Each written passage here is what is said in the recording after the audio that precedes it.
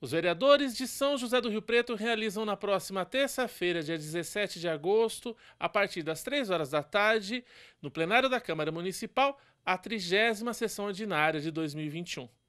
Está na pauta do dia um projeto de lei complementar, 10 projetos de lei e um projeto de resolução. Também será votado em regime de urgência, tanto na legalidade quanto no mérito, o projeto de lei do Executivo que dispõe sobre a outorga de uso sob forma de concessão administrativa de imóvel público municipal em favor da Caritas Diocesana São José do Rio Preto, Jardim Maracanã.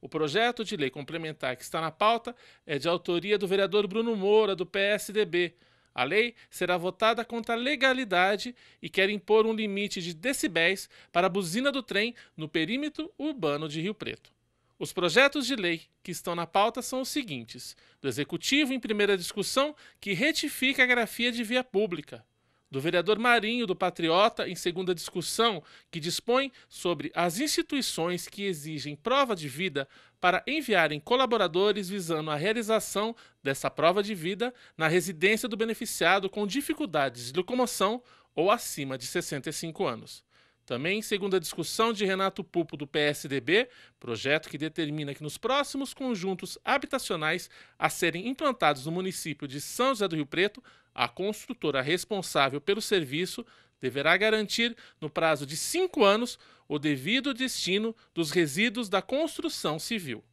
A Câmara votará o mérito de dois projetos de autoria do vereador Jean Charles Serbeto, do MDB, o que declara de utilidade pública o Ambulatório Médico de Especialidades, o AME, e o que declara de utilidade pública o Hospital Lar Nossa Senhora das Graças. Também no mérito, será votado o projeto de lei do vereador Odélio Chaves, do Progressistas, que tem como objetivo instituir o Dia Municipal do Tradutor e Intérprete da Língua Brasileira de Sinais. Quanto ao mérito, será votado o projeto de Jean Charles Serbeto, que inclui os postos de atendimento bancário na obrigatoriedade de instalação de portas giratórias com dispositivo de detector de metais. Do vereador João Paulo Rilo, do PSOL, será votada a legalidade do projeto que destina os recursos provenientes do ICMS ecológico ao Fundo Municipal de Defesa do Meio Ambiente para manutenção e preservação da Estação Ecológica do Noroeste Paulista de Jean Charles Serbeto, em primeira discussão será votada a utilidade pública do Hospital Estadual João Paulo II.